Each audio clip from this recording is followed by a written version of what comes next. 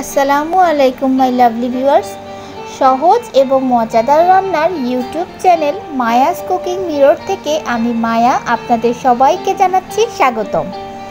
Chop, যে কথাটি শুনলেই মনে পড়ে বিকালের নাস্তা, মেহমানদারি, টিফিনের স্ন্যাক্স বা ইফতার টেবিলের সবচেয়ে পছন্দের একটি রেসিপি আমার চ্যানেলে অনেক রকমের চপের রেসিপি আছে। আমি ডেসক্রিপশন বক্সে আপনাদের জন্য লিঙ্ক দিয়ে দিব। আজ আপনাদের করে দেখাবো সহজ বিফ চপ রেসিপি যা দেখতে অনেক সুন্দর আর খেতে মজা এবং এর স্বাদও সেই রকম শাহি। চলুন তাহলে let's cook for taste beef chop তৈরির জন্য প্রথমেই বিফ কিমা নিয়ে নিয়েছি এক কাপ এখন আমি প্যানে তেল গরম করে এই কিমাটি দিয়ে দিচ্ছি। খুব বেশিক্ষণ রান্নার প্রয়োজন নেই এটি। দশ মিনিটের মধ্যে আমি এটি একটু ভাজা ভাজা করে নিব জাস্ট এখন আমি দিয়ে দিব লবণ স্বাদ মতো। দিয়ে দিলাম আদা, রসুন পেস্ট, আধা চা চামচ, চপড অনিয়ন, দুই টেবিল চামচ।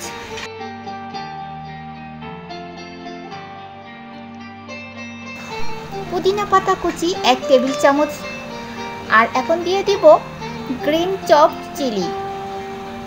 ঝালটা আপনারা স্বাদ অনুযায়ী দেখে নেবেন। আমি একটু কম ঝালই খাই, এজন্য এখানে আমি এক চার চামচ আন্দাজ কাঁচামরিচ ইউজ করেছি। এখন দিয়ে দিলাম অল্প এক পিঞ্চ পরিমাণ মরিচ গুঁড়ো, এক পিঞ্চ পরিমাণ হলুদ গুঁড়ো।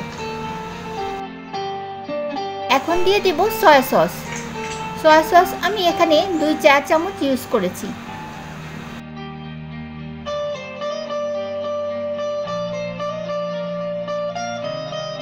খুব ভালো করে নেড়ে চেড়ে মশলাগুলো মিক্স করে আমি এটি পাঁচ সাত মিনিটের জন্য ঢেকে দিব। একটু ভাজা ভাজা হলে এটা নামিয়ে নিব। সেই পাখে আলুটা রেডি করে নিই। আমি এখানে দুইটি আলু সিদ্ধ করে নিয়েছিলাম। দিয়ে দিলাম লবণ ও বেরেস্তা। আর সেই সাথে দিয়ে দিলাম পুদিনা পাতা কুচি।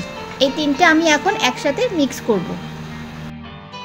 ভালোভাবে মাখিয়ে আমার আলু প্রায় রেডি চপ তৈরির জন্য এখন দেখে আসি মাংসটার কি খবর। মাংসটাও প্রায় হয়ে এসেছে। এরকম ভাজা ভাজা ব্রাউন কালার হলে তখন আমি মাংসটা নামিয়ে নিব। যেহেতু মাংসটা কিমা করা, তাই বেশিক্ষণ রান্নার এখানে প্রয়োজন পড়েনি। আর মাংসের ভিতরে যে পানি ছিল, তা দিয়েই সেদ্ধ হয়ে গেছে। দেখুন কি নাইস কালার এসছে।